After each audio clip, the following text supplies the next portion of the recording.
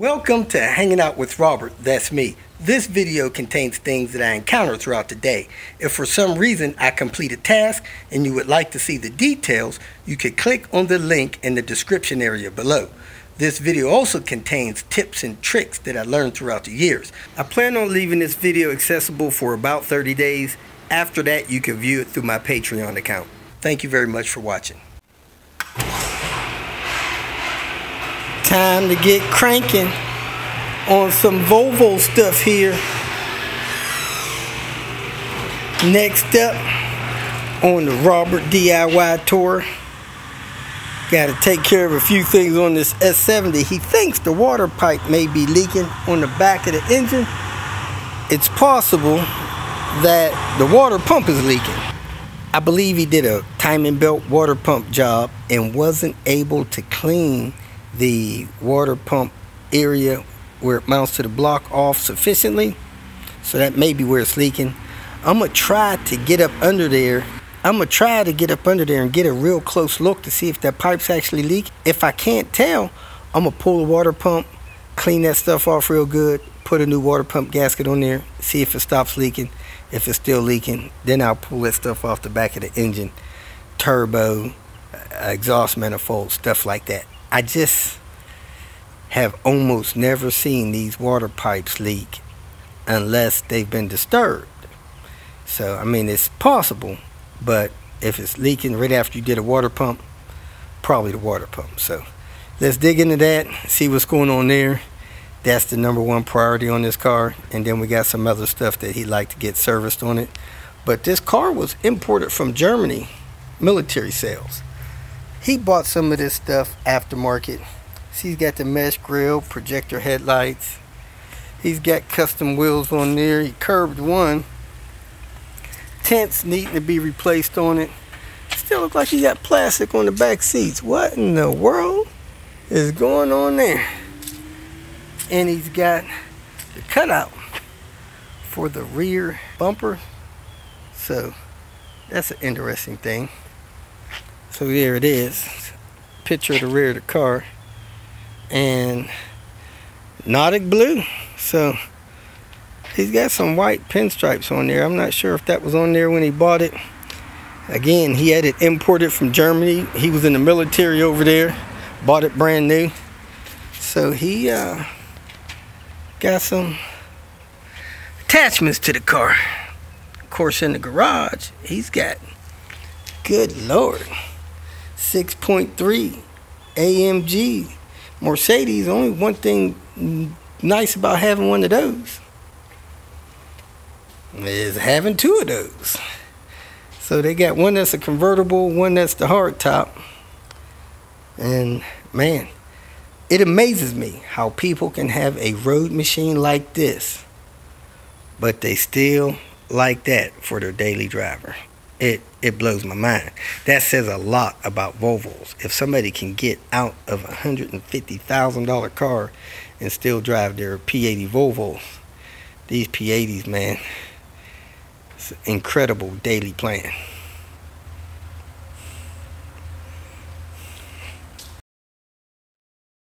Let's get this in the garage and get started. Making sure we don't scratch one of these. Probably can't afford to do that timing belt replaced July 21 that thing there cabin filter maybe not too long ago. The support brace the bar is missing. I don't know where that is. There's nothing in the coolant reservoir. So I'm gonna pour some water in there. It'd probably be okay to run it for a minute without it but I'm not going to. I'm gonna go ahead and put that on there PCV has some weird clamp on it there. Uh, looks like it may have an IPD tune on it, maybe.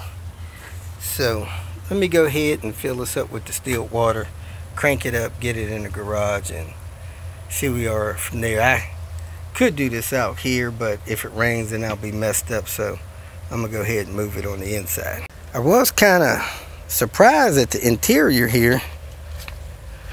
It's got some I guess it's one of those press-on wood kits. That's pretty neat. Looks good. Got that stuff pressed on the vents and He's got a different shift knob in here.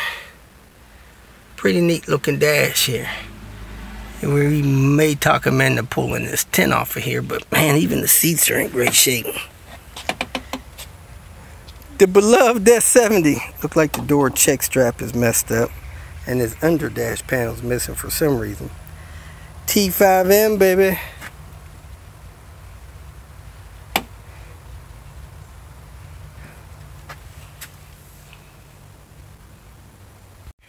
And we're going to kick this off with a dead battery.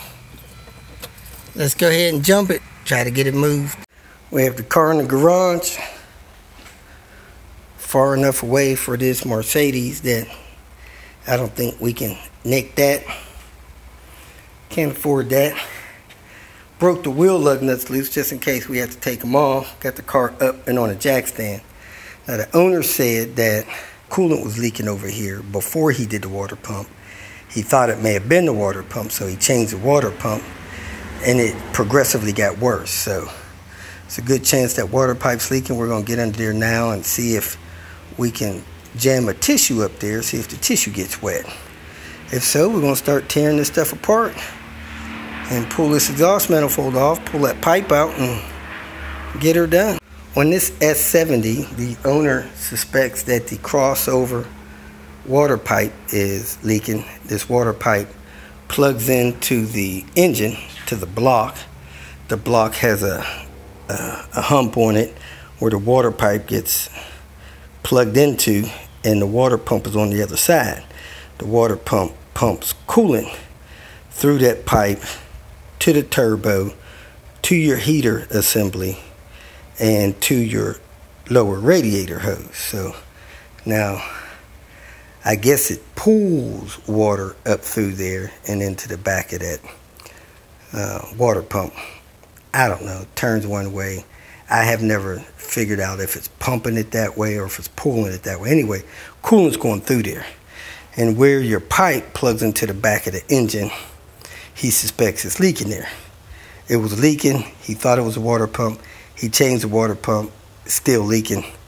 He wasn't, in his mind, able to clean the surface of the block off where the water pump mates. So it, it still could be the water pump if he didn't clean it off good. Anyway, we're going to get down under the car, put some light on it, maybe put a camera on it, see if we could tell if this water pipe is leaking. You can wrap uh, tissue paper around there, and if it gets wet, it's probably leaking. So that's the best way I know to check for leaks, or just look at it if it's you see water seeping through it, it's leaking.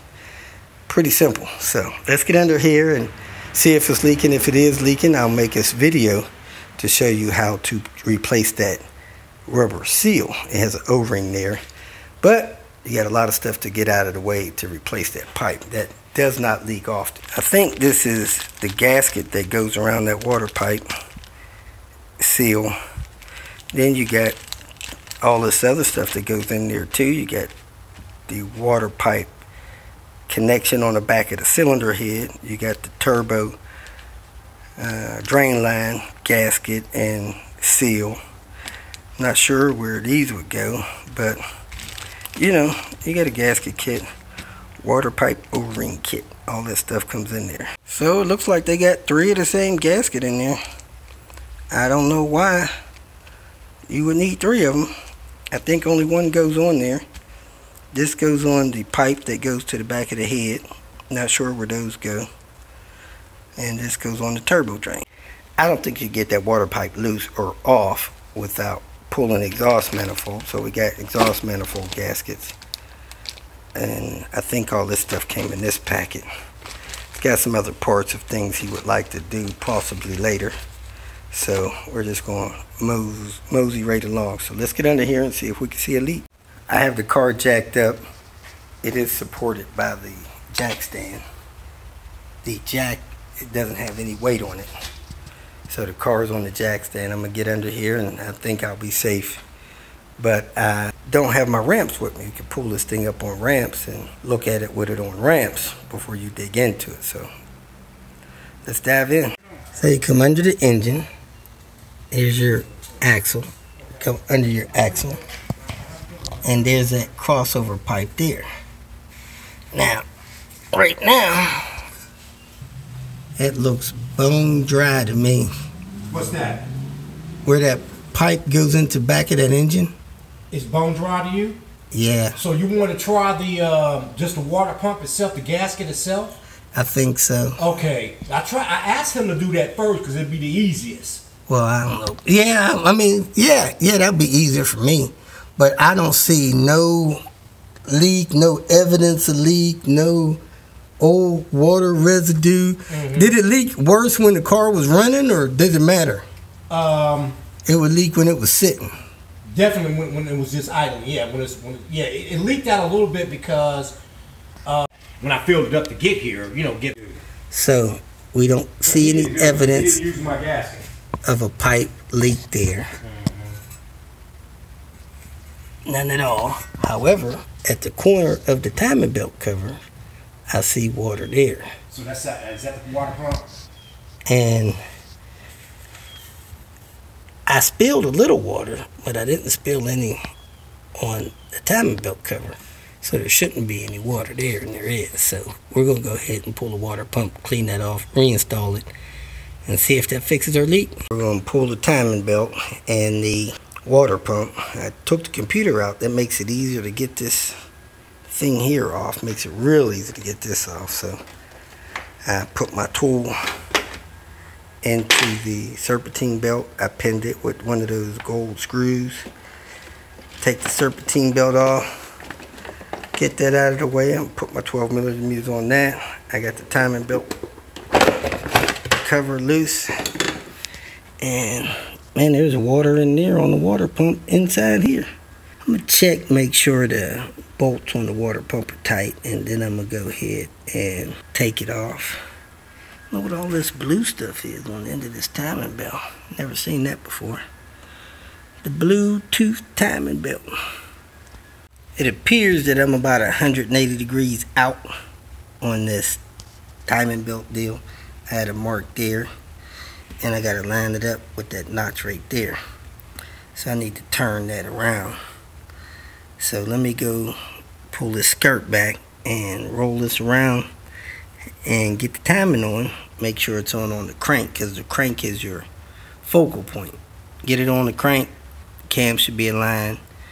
Then you could take the belt off. So let me work on that and go from there. Timing marks on this one is dead on. You see down there the little nicks and the crank pulley on the oil pump nipple is mm-hmm. dead on. Mm-hmm. And then when you come up here, you see that mark is right in that nick. Mm-hmm. That mark is right in that neck. So timing's right on spot, so we shouldn't have to mess with that. But I do need to get this tensioner off so I can get the water pump out, move the belt out of the way, and then remove the pump. this from IPD. This T45 down here is super tight. I tried to get it off with two tools. It really don't want to come off. I don't know if it's a little bit damaged or not. But I'm going to put the vice grips on the washer on the outside of it, the outside ring, and try to break it loose with that and then turn it out. So I'm going to put these vice grips on there and hopefully I got a cheater bar around here somewhere I could put on the end of that, maybe that jackhammer. Here's a new one that he was not able to put on a couple months ago because he couldn't get that one off. But that's how I'm gonna try to get that vice grip on there and break that loose. A lot of times when that bolt's too tight, it's leaning on that washer and turning that washer a little bit counterclockwise will break the bolt loose. I got the vice grip on it. I'm gonna put this cheater bar on it.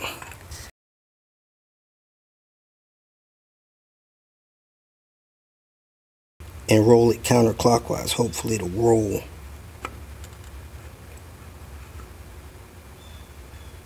and get that bolt loose.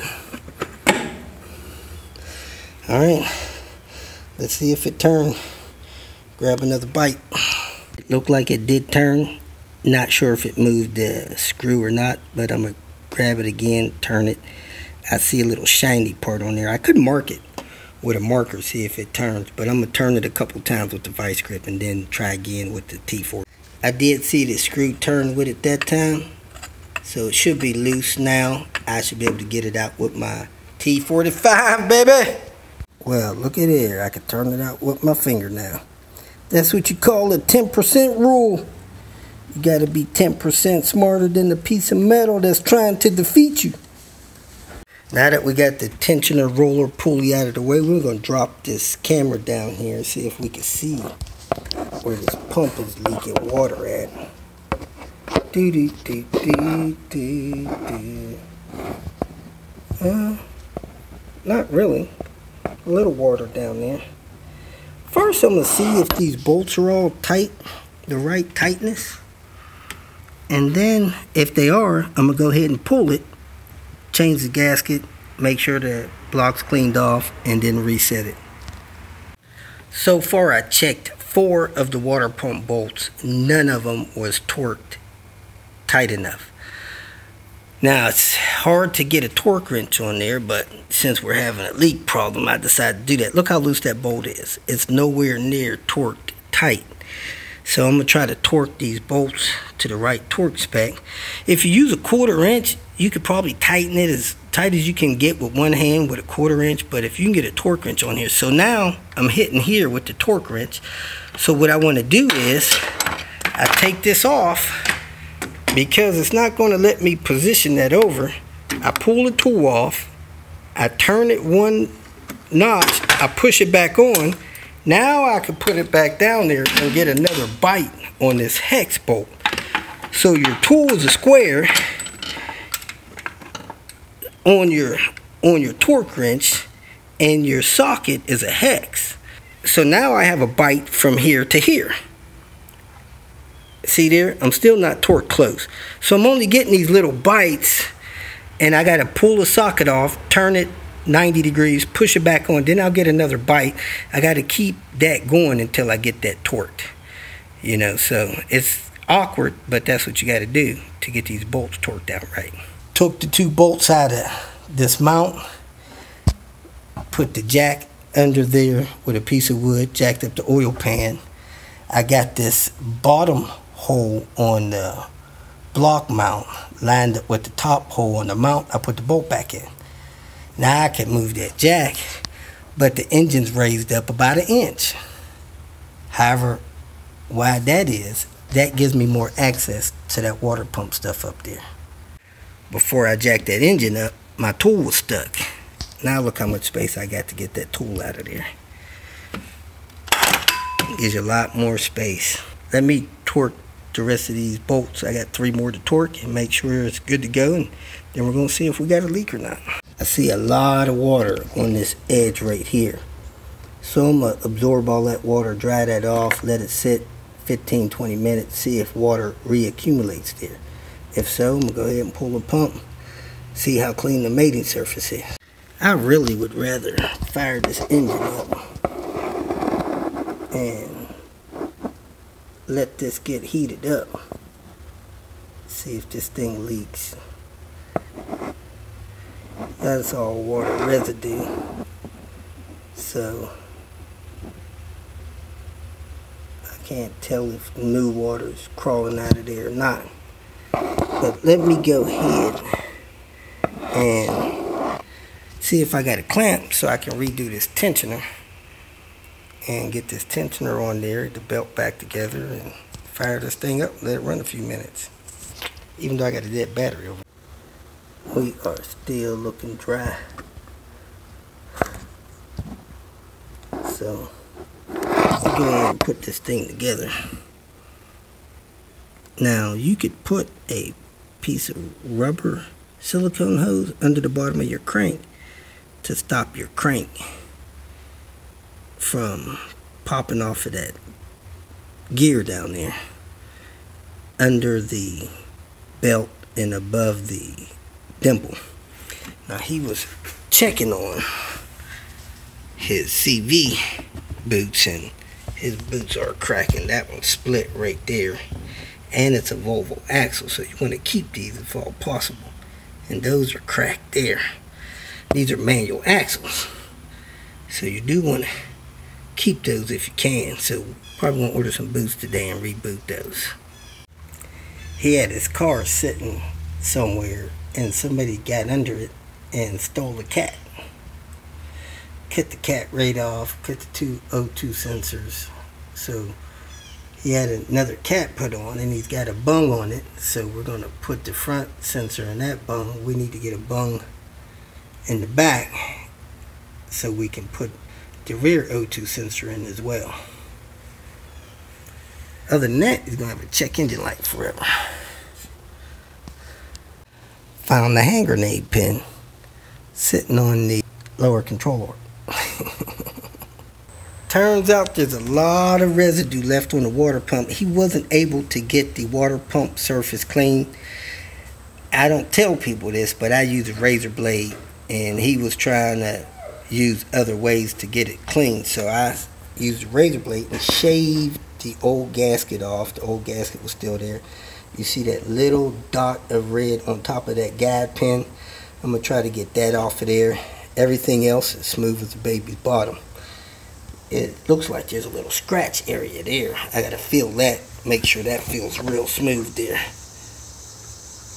Yes, it's smooth. It's just a surface scratch. It's not a gouge in the in the uh, engine surface. So he's using water for a month or two. So you see that starting to build up there.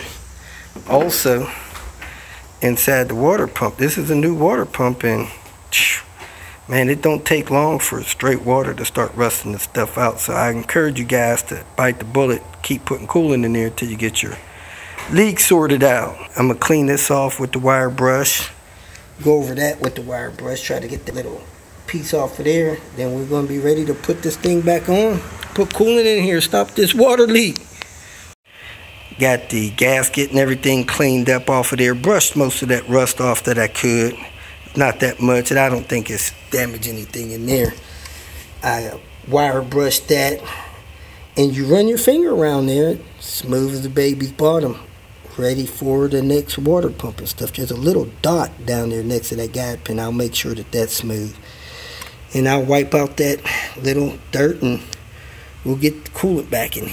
Gasket in place, ready to set the pump on and bolt that thing down.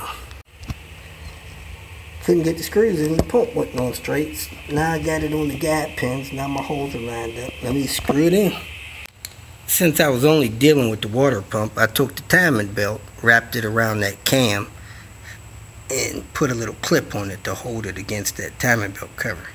Wasn't long enough to get over top of that without kind of putting a kink in it. So I just clipped it like that, hold it in place. Now I'm to put the hydraulic tensioner in, then I'm to put the roller back in, put the timing belt back on its proper path. Everything's on. Timing marks are on. Belts on, ready to roll. The owner went to go get the battery, so his battery was actually bad, three years old. Man, if you don't treat a battery perfect, it's only gonna last three years if they sell you a three-year battery. Three years and two months. Shame. Treat them perfect, they might last four but don't expect it. So you buy a five-year battery, expect it to last five years if you treat it right. That means driving somewhere nonstop for 30 minutes one day a week and trips in excess of 15 minutes. That battery lasts as long as it's dated. So let me torque this stuff down, pour some coolant in here, make sure we don't have anything leaking, which we shouldn't. We're going to call it a day the owner actually has some more parts he wants to order. He wants to order the Volvo CV axle boots. Those are going to take two half days to get here. Tomorrow's Tuesday. They'll probably get here Thursday. So I got all day tomorrow and half the day Thursday to pedal around. So we have a radiator hose here, lower rad hose. I'm going to install that. I'm going to put these on when I do the axles. I'm probably not going to need this stuff. I'm going to change his throttle body cable. The coating come off of the cable. So he bought a new cable so he can get that done. Man, I can't get that to stay in there. And uh, so cable is limp. It must be broke here at this. Yeah, it's broke right there. So we're going to replace this uh, cable for him there. We'll do that tomorrow. Got an IPD rip kit, boys. He's got a brand new battery. His battery was bad. I showed him how to put that battery clip in. That's a video on its own. So let me go in here and close this up and eat dinner and get ready for tomorrow. If you feel that this information was useful, please like it and share it with your social media friends. You can subscribe to my channel so that you will get notifications of future videos that I post. You can follow me on Twitter, and if you need to contact me directly, please visit my website. And if you have any questions, leave them below, and someone or myself will reply to them. Again, thank you very much for watching.